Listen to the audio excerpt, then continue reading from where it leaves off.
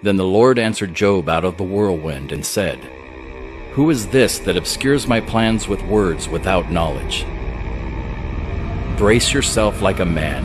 I will question you, and you shall answer me. Where were you when I laid the foundation of the earth? Tell me if you have understanding. Who marked off its dimensions? Surely you know.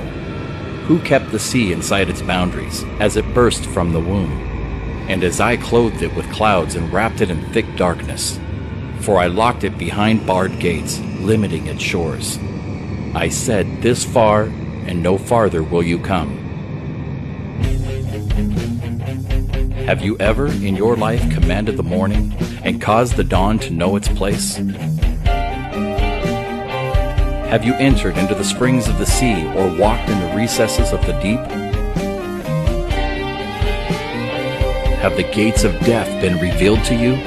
Or have you seen the gates of deep darkness?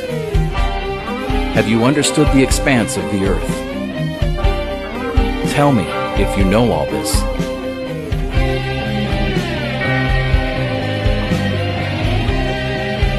Where is the way to the dwelling of light? And darkness, where is its place?